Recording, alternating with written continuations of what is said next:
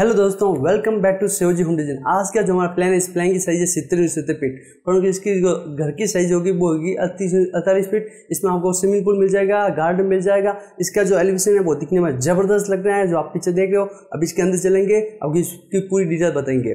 परंतु आप अगर चैनल पर नहीं है तो चैनल को सब्सक्राइब करके बेल आइकन ऑन कर दीजिए, जैसे मेरे कोई नई वीडियो इस चैनल पर आएगी, सीधी आपको मिल जाएगी। अगर आपको ये वीडियो अच्छा लगे तो वीडियो को कमेंट करके अपनी राय ज़रूर देना। और अगर वीडियो अच्छा लगे तो लाइक भी करना और चैनल को सब्सक्राइब भी करना और बेल आइकन भी ऑन करना। मेरी जैसे कोई नई वीडियो आएगी, उसकी नोटिफिकेशन सीधा आपको मिल जाएगी सबसे पहले। अगर आपका कोई प्लान है जो आपको डिज़ाइन करवाना है तो मेरे व्हाट्सअप नंबर जो आपको नीचे देख रहे हो, इस नंबर पर व्हाट्सअप कर देना। मैं उसकी जो प्राइस लगेगी, वो प्राइस देने के बाद मैं आपका ये प्लान डिज़ाइन कर दूँगा। मेरी पूरी टीम है जो आपकी इसमें हेल्प करेगी। चलिए शुरू करते हैं, अंदर चलते हैं।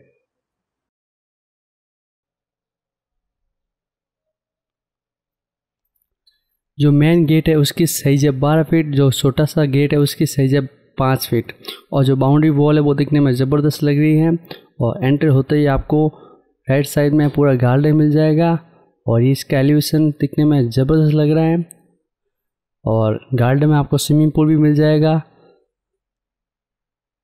स्विमिंग पूल दिखने में अच्छा है. अगर आप चाहो तो यहाँ पर कुछ और भी सेट कर सकते हो. मैंने स्विमिंग पूल सेट किया है क्योंकि स्विमिंग पूल दिखने में अच्छा लग रहा है।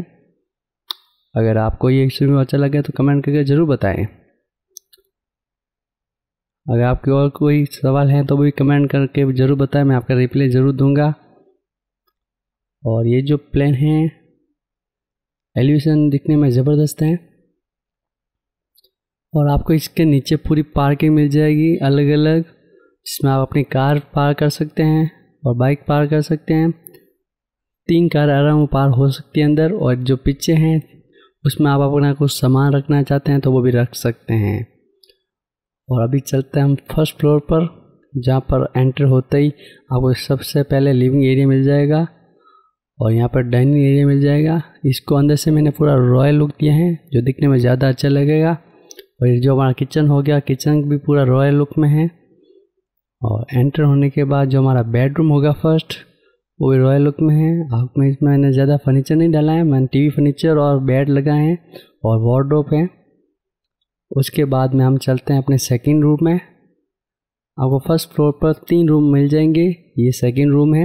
इसमें आपको अटैच बाथरूम मिल जाएगा वार्डरोब मिल जाएगी और बेड के लिए स्पेस मिल जाएगा और टीवी यूनिट मिल जाएगी। और अभी हम चलते हैं अपने वापस किचन की ओर। किचन में ही इनके दरवाजे हैं।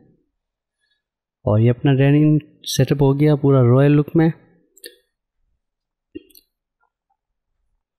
और ये एक और बेडरूम हो गया, जो भी दिखने में ज़बरदस्त हैं।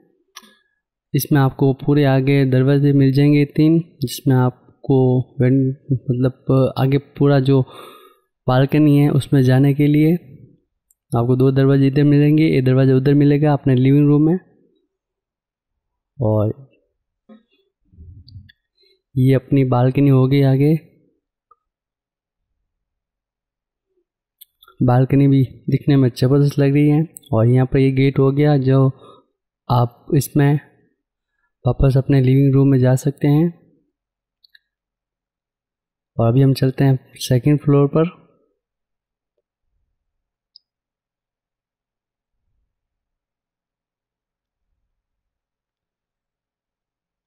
सेकंड फ्लोर में आपको यहाँ पर पूरा खाली स्पेस मिलेगा।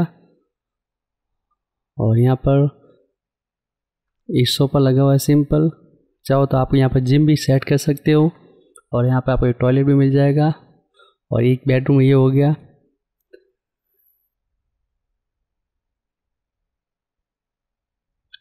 ये बेडरूम की साइज़ अच्छी है। और अभी हम चलते हैं अपने सेकिंग वाले बेडरूम में। ये वाला सेकिंग वाला बेडरूम हो गया। इसमें भी आपको स्पेस अच्छा मिल जाएगा। ओके मुझे उम्मीद है आपको ये प्लान यहाँ से पूरा समझ में आ गया होगा। अगर समझ में नहीं आया तो आप एक बार फिर से देख लीजिए। और यहाँ पर आपको चार गेट मिल जाएँगे। ये मैंने ऐसे लगाए हैं, अगर आप चाहो तो। अंदर बाहर से लुक अच्छा आए, इसलिए हमने यहाँ पर कार चार गेट लगा के इसको लुक को और भी अच्छा किया है। ये प्लान आपको कैसा लगा कमेंट करके ज़रूर बताएँ। मिलते हैं नेक्स्ट वीडियो में। Bye bye friends. आज का जो ये प्लान है, दिखने में ज़बरदस्त हैं। और वीडियो को लाइक ज़रूर करें।